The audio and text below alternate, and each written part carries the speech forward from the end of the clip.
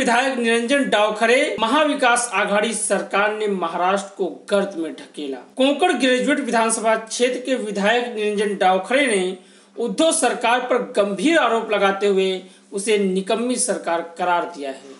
सोमवार को पनवेल में आयोजित बीजेपी की एक प्रेस कॉन्फ्रेंस में निरंजन डावखरे ने महाविकास आघाड़ी सरकार के तीन सौ पैंसठ दिनों के कार्यकाल की पोल खोलते हुए कहा कि सरकार ने विकास के बजाय सिर्फ़ तबादले किए हैं और जनता से जुड़े मुद्दों को लेकर जितने भी दावे किए थे, उसे पूरा करने में असफल रही है। उद्धव ठाकरे के नेतृत्व में चल रही महाविकास आघाड़ी सरकार की नीयत और कार्यप्रणाली दोनों ही खराब हैं, जिसके चलते महाराष्ट्र एक साल के भीतर ही गर्त में चला गया है। नहीं, हमने देखा है कि ये तीन सौ पैंसठ दिन, ये जो सरकार चली है, इसने महाराष्ट्र को एक उल्टी दिशा में लेने का पाप किया है। इसमें ये सरकार का स्थगिति सरकार करके भी नाम पड़ा है, पलटू सरकार करके भी नाम पड़ा है, बदली सरकार करके भी नाम पड़ा है। क्योंकि मंत्रालय में जो बदलियों के एजेंट आज घूम रहे हैं, उसके वजह से सिर्फ़ बदलियों में बहुत बड़े पैमाने पे भ्रष्टाचार हो रहा है। और जो निर्णय ये ले रहे हैं, वो शिक्षण का हो एम का हो, उसमें हर बार एक पलटने का काम ये सरकार कर रही है।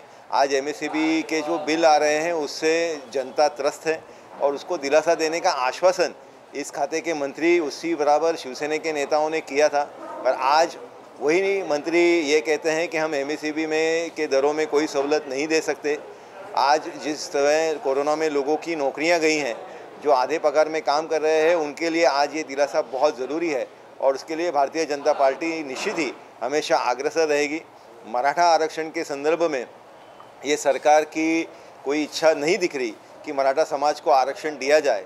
और उसी बराबर मराठा समाज और ओबीसी समाज में एक झगड़ा लगाने का काम इस आ, सरकार के सत्ताधारी मंत्री और आमदार कर रहे हैं ये भी हमें दिख रहा है। और इसके लिए ये तीन सौ पैंसठ दिन जो सरकार चली है इसमें निश्चित ही महाराष्ट्र का बहुत बड़ा नुकसान हुआ है। Bureau report. TV one India. Latest update और खबरों के लिए टीवी वन इंडिया को सब्सक्राइब करें और नोटिफिकेशन पाने के लिए बेल आइकॉन को दबाना मत भूलें।